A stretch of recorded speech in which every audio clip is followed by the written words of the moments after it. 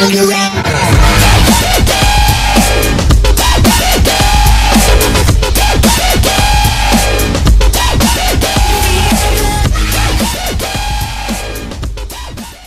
ีครับ สวัสดีคุณผู้ชมทุกท่านด้วยนะครับ อยู่ผม Art Lock Gamer นะครับ วันนี้เราก็จะมาสอนวิธีการดู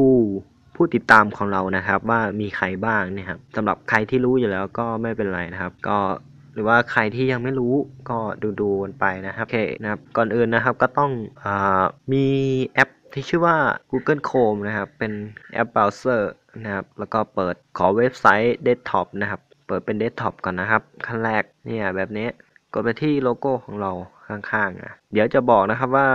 ประโยชน์มันคืออะไรนะครับ ที่ดูผู้ติดตามเนี่ย กดไม่ได้ มันเล็ก โอ้ย อะไรเนี่ย กดไปที่สตูดิโอผู้สร้าง สตูดิโอผู้สร้างนะครับ สตูดิโอผู้สร้าง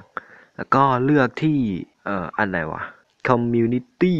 ด้านข้างนี้เลย community เรามาโหลดแป๊บหนึ่งครับ พอดีว่าเน็ตกากช้ามากนะครับ แล้วก็นี่เลยผู้ติดตามก็จะได้มาแบบนี้นะครับ ประโยชน์ของมันก็คือเมื่อเวลาเราไปเอ่อแลกติดตามนะครับ หรือว่าไปให้เพื่อนเราติดตามแบบนี้ เออ เราถามเพื่อนเราว่า เฮ้ยมึงติดตามกูยังอะไรประมาณนี้แล้วถ้าเพื่อนมาตอบว่าติดตามแล้ว เราก็ลองมาเช็คดูนะครับ ว่ามันติดตามเราจริงหรือเปล่า หรือว่ามันแค่โกหกเรานะครับ แต่ถ้าไม่มีชื่อมันเนี่ยก็แสดงว่ามันโกหกจริง ๆนะครับ ก็มันมันมีประโยชน์แบบนี้นะครับ ก็เอามากันกันโดนหลอกนะครับ หรือว่าบางทีเราไปแลกไลค์แลกซับอะไรเนี่ยเราก็มาดูนะ แลกซับอย่างเดียวแล้วแลกไลค์ไม่เกี่ยวนะฮะอ่ามันมี 2 โหมดนะครับ โหมดล่าสุดแล้วก็ยอดนิยม ล่าสุดนี้ก็มีผู้ติดตามเราล่าสุดนะครับ ก็จะมีวันที่แล้วก็จำนวน sub ให้อยู่นะครับ แล้วก็ยอดนิยมที่สุดนะครับ ก็คือคนที่ sub เยอะที่สุดนะครับมามากด sub ให้เรานะครับอ่าของผมก็จะเป็นเยอะที่สุดก็อยู่ที่ 20,000นะครับเบียร์กี้เกมเมอร์ก็ทีม C สุดกรากวันนี้ก็เยอะกันอยู่ก็ เป็นพันเนี่ยก็มาติดตามผมเยอะเลยนะครับ ก็สามารถดูได้นะครับว่ามีคนดังคนไหนมาติดตามเราบ้างนะครับ ก็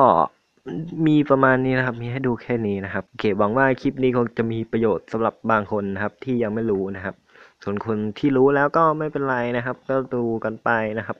โอเค ดูจบแล้วก็อย่าลืมกด subscribe กดไลค์กดแชร์ผมนะครับ โอเคครับต้องลาไปก่อนครับ